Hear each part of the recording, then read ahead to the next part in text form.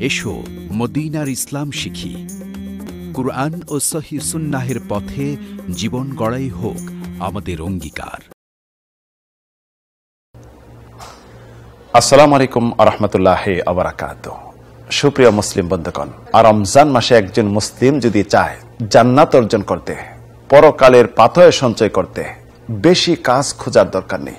অনেক কাজ রয়েছে তার মাঝে যদি একটি কাজ, একটি আমল খুব সামান্য আমল গ্রহণ করে, তারপরেও তার জন্য জান্নাতে যাওয়া খুব সহজ। সেটি হলো একজন রোজাদারকে ইফতার খাওয়ানো। পেট ফুল করে পাঁচ তারকা হোটেলে নিয়ে খাওয়ানোর প্রয়োজন নেই।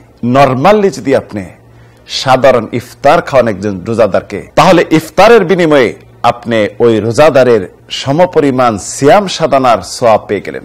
সুবাহান আল্লাহ রাসলাম করেছেন, মান ফাত্তারা সাএমান ফালাহু মিসলু আজরে সাএম যদি কোনো ব্যক্তি একজন রোজাদারকে ইফতার খাওয়াইলো ইফতার করাইলো, তাহলে সে রোজাদারের সমপরিমাণ সব পেল রোজাদারের সবের কোনো কমতি কাটতে হবে না।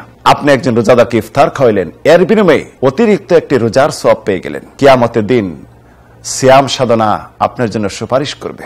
বলবে, হে আল্লাহ, সে খানা পিনা বন্ধ করেছে। আমি সুপারিশ করতেছি, আমার সুপারিশ কবুল করুন, আল্লাহ রবুল্লাহ আলমিন কবুল করবেন। ওই দিন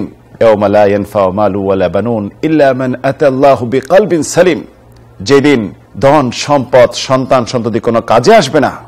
যে আমল নিয়ে আসবে, সঠিক অন্তর নিয়ে আসবে ফ্রেশ অন্তর নিয়ে আসবে, এটি কাজে খাটবে। তাই প্রিয় বন্ধুগণ, বর্তমান পরিস্থিতিতে মানুষ অত্যন্ত সমস্যায় জর্জরিত, অভাব অনটন জর্জরিত। পাশে দাঁড়ান, ইফতারের খরচ দিন, ইফতারের ব্যবস্থা করুন। কেয়ামতের দিন এত সিয়াম সাধনার সব আপনার ব্যালেন্সে দেখবেন বিশ্বাস করতে পারবেন না। আল্লাহ রবুল্লা আলমিন এই ছোট্ট একটি আমল, ইবাদতটি করার তৌফিক দান করুন। এবং রাইয়ান নামক গেট দিয়ে জান্নাতে প্রবেশ করা তৌফিক দান করুন। আমিন আল্লাহ আমিন।